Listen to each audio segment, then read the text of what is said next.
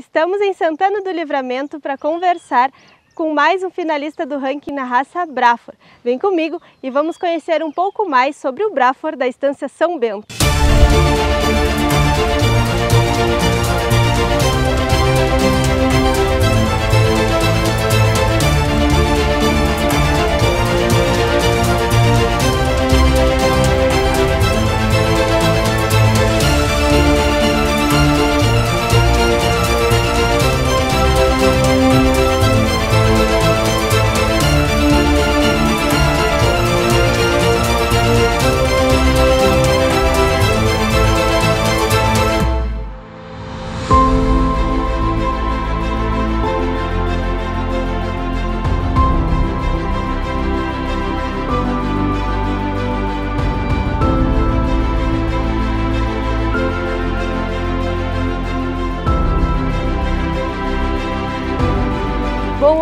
um prazer estar aqui contigo na São Bento para conhecer um pouco da história né, da tua propriedade. Tá certo, prazer é meu também receber vocês aqui e contar essa história, que é, é uma longa história, na verdade. Começou é, lá pelos anos 80, é, quando a gente recebeu essa propriedade, e nós tínhamos um gado Hereford, e se já era apaixonado, meu pai era apaixonado pelo Hereford e começou a se trabalhar essa raça, o Hereford. E depois de uns anos, eu, o Otto, já na minha gestão, é, resolvi fazer o cruzamento com o Nelore para aproveitar as qualidades do, da, da raça Hereford e com a rusticidade do gado Zebu, no caso, na época, usava muito Nelore.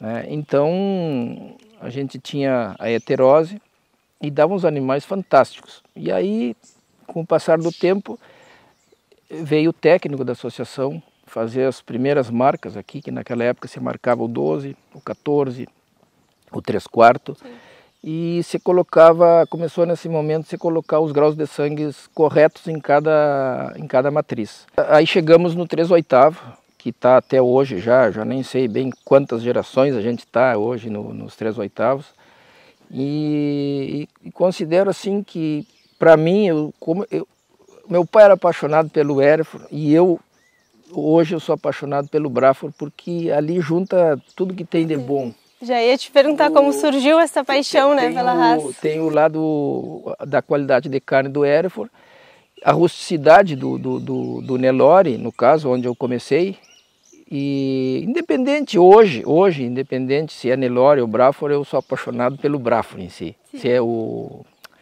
o Brahma, que eu digo. É, é, outra linhagem de, de, de, de, Zebu, mas que eu acho muito importante também. Sim.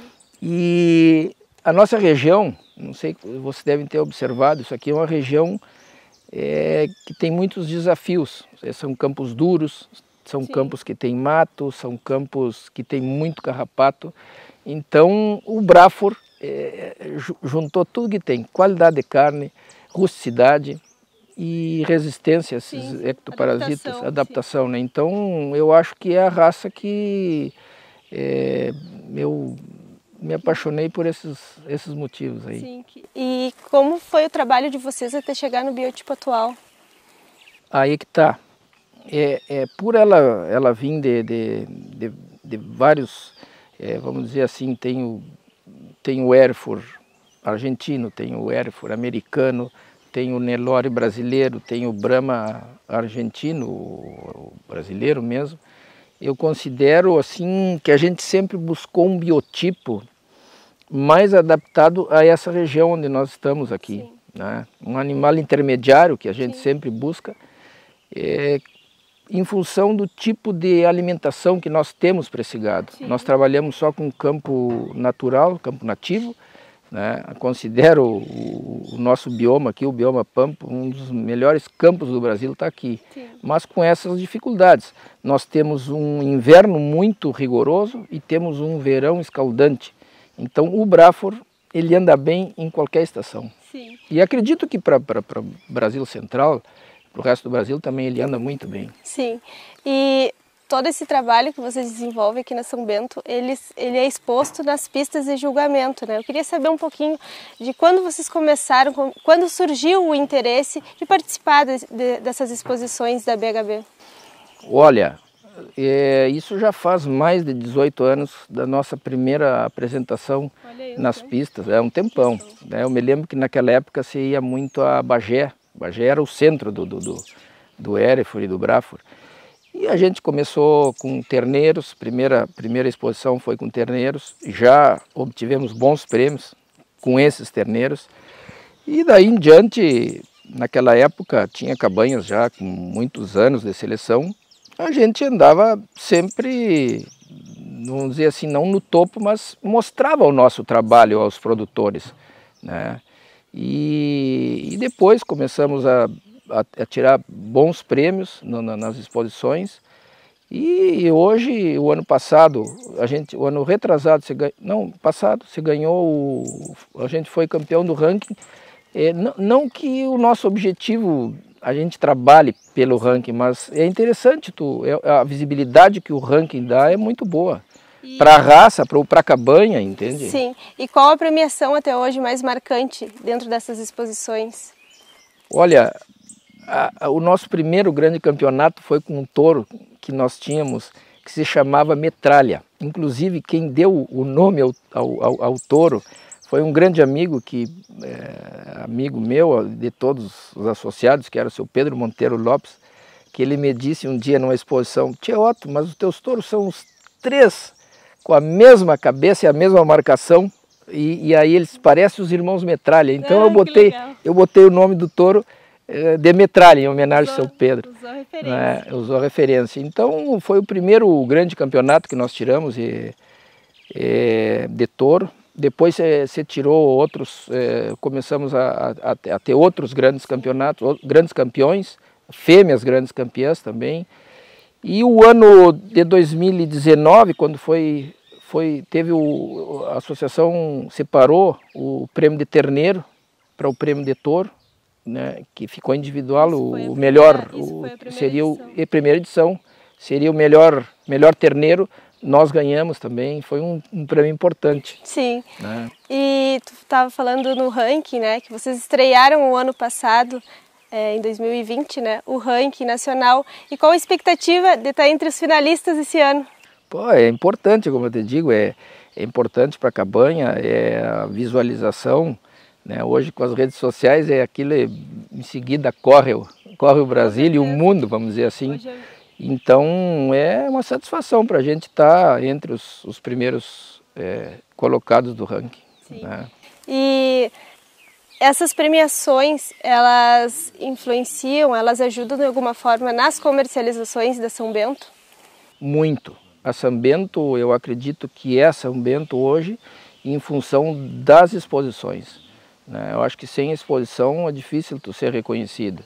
Hoje primeiro, eu acho que em primeiro lugar está as exposições, as, as pistas.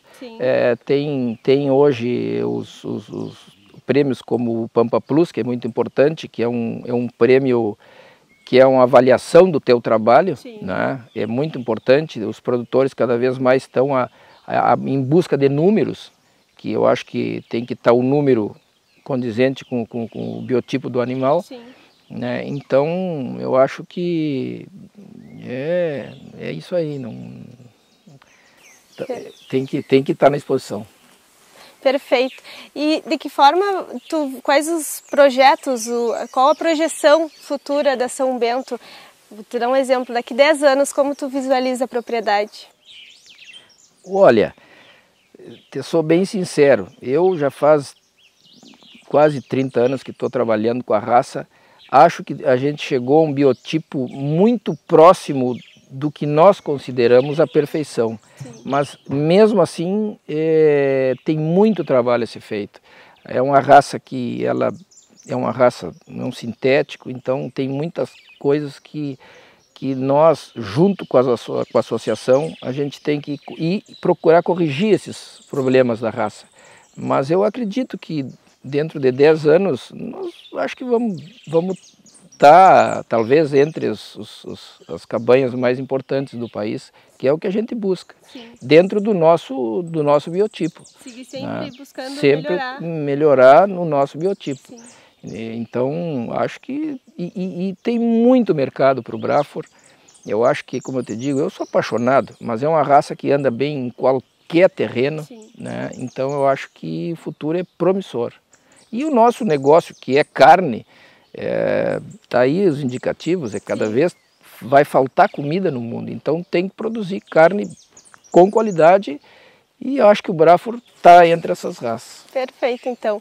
Agradeço a tua participação mais uma vez e a recepção aqui na São Bento. Foi um prazer estar ao teu lado e conhecer um pouco da história da propriedade. Tá certo, muito obrigado. E eu também quero aproveitar para agradecer a presença da associação aqui na nossa propriedade que é muito importante a associação, sabe que é, é um papel importantíssimo a associação.